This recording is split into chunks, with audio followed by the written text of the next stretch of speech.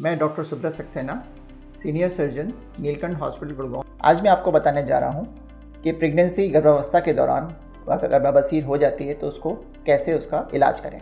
अगर आपको पहले से बवासीर रहती है तो प्रेगनेंसी के दौरान आपको बवासीर बनने के चांसेस ज़्यादा हो जाते हैं। इसलिए प्रेगनेंसी के दौरान आप पानी ज़्यादा से ज़्यादा पिएँ, हरी सब्ज़ियाँ खाएँ, बहुत देर तक टॉयलेट की सीट पे ना बैठें, क्योंकि जितना आप स्ट्रेन करेंगे टॉयलेट सीट पे, उतना बवासीर आपकी बढ़ती चली जाएगी।